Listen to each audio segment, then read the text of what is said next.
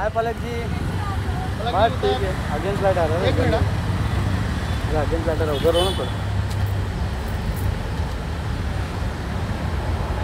पलक जी mask पड़ा मैं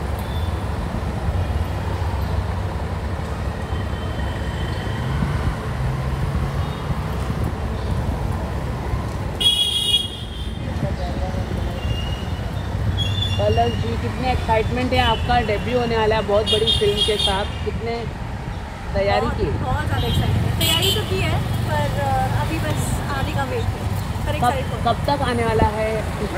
सितंबर सितंबर विवेक sir के साथ आप कर रही है फ़िल्म अभी आप देख लो आएगी देख लेना कौन कौन है मम्मी ने कुछ टिप दी है कि नहीं मम्मी ने आपको?